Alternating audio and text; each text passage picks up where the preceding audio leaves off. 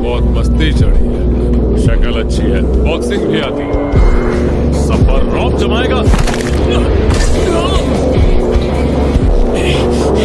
देखिए आप गलत समझ रहे हैं।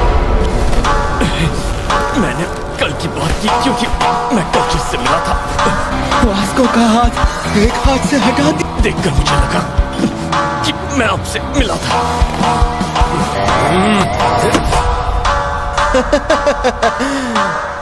अच्छा समझ गया। तुम वास्को भाई को देखकर कंफ्यूज हो गए ना?